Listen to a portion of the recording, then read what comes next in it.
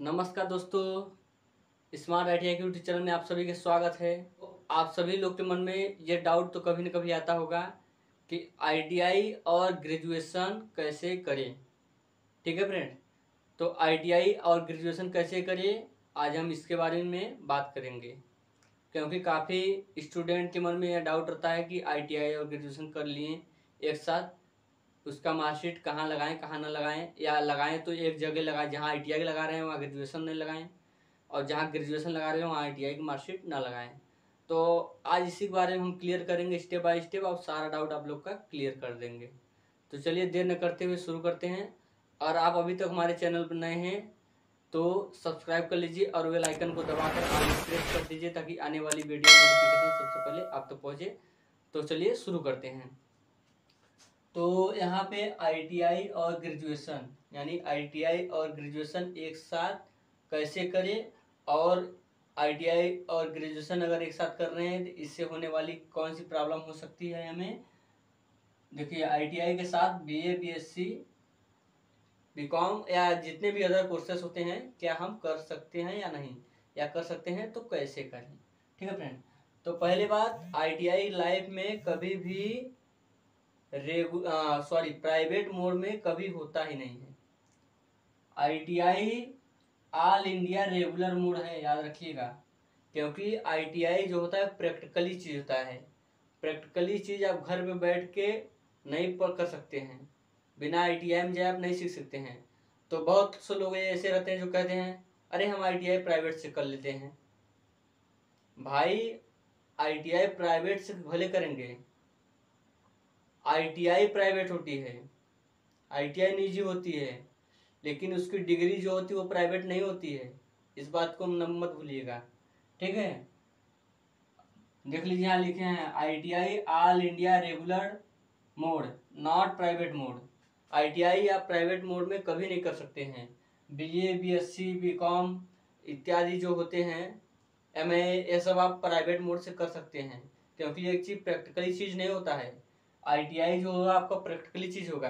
आप घर पे बैठ के करेंगे तो प्रैक्टिकल कभी नहीं सीख पाएँगे। और ऐसे लोग जो घर पे बैठ के कर लेते हैं तो बाद में कहते हैं, जॉब नहीं मिल रही है आईटीआई करने का कोई बेनिफिट नहीं, कोई फ़ायदा नहीं। ठीक है?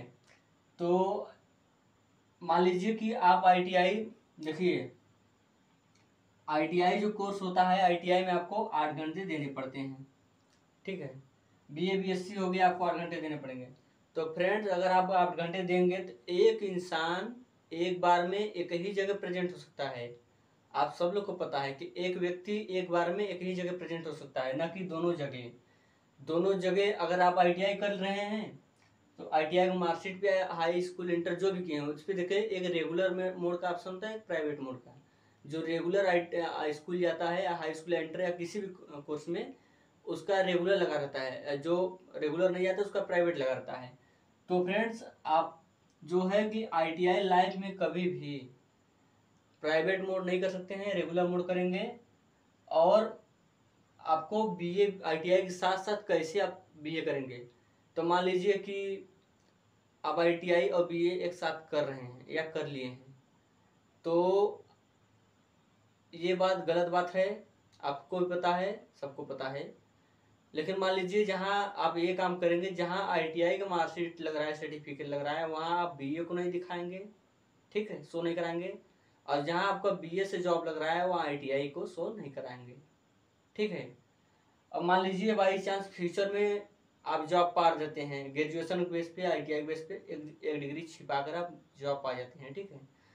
तो बाई चांस गलती से ऐसा हो ना लेकिन कुछ ऐसे गाँव में रिश्तेदारों में या कोई ऐसे दुश्मन भी रहते हैं जो कि अगर गलती से भी वायरल कर दिए कि आप आईटीआई के साथ या ग्रेजुएशन के साथ अन्य कोर्स भी साथ में किए हैं तो आपकी लगी हुई नौकरी भी हाथ से निकल सकती है। ठीक है? इस बात को आप लोग ध्यान दीजिएगा। जा भी सकती है नौकरी आपकी और आप पे कानूनी कार्रवाई भी हो सकती है। क्योंकि बंदा एक बार में एक ही जगह प्रेजेंट हो सकता है, दो जगह नहीं। और उसके बाद अगर आईटीआई के साथ आप ग्रेजुएशन करना चाहते हैं तो ध्यान से देखिए कैसे करेंगे। मान लीजिए जैसे आपका आईटीआई का सीज़न 2020 से सॉरी मान लीजिए दो हज़ार तेईस से पच्चीस है, ठीक है? दो हज़ार तेईस से पच्चीस है तो जुलाई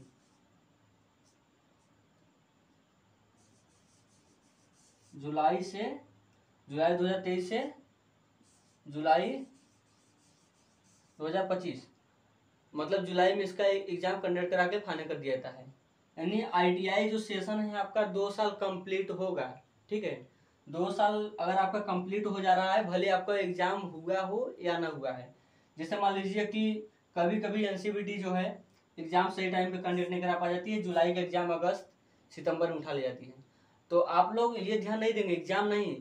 ये देखिए, इसका दो साल कब पूरा हो रहा है। आपका दो साल कब पूरा हो रहा है? दो साल पूरा होते हुए जुलाई में आप जैसे मान लीजिए जुलाई में इसका सेशन खत्म होता है तो अगस्त में आप लोग एडमिशन ले सकते हैं, भले इसका एग्ज़ाम हुआ हो या ना हुआ हो। ऐसे ही सेम प्रोसेस बीए में है, ठीक है? सेम प्रोसेस बीए में है।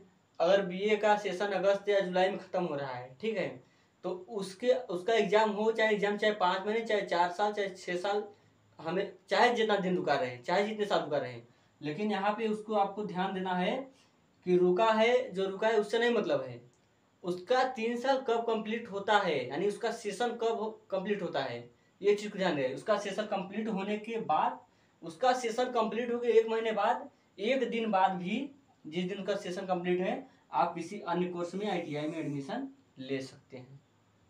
ठीक है फ्रेंड उसके बाद आप आईटीआई और ग्रेजुएशन कैसे करें? दूसरी तरीका। मान लीजिए आप दोनों डिग्री साथ में लगाना चाहते हैं आईटीआई और ग्रेजुएशन का। तो किस प्रकार से करें कि लग जाए?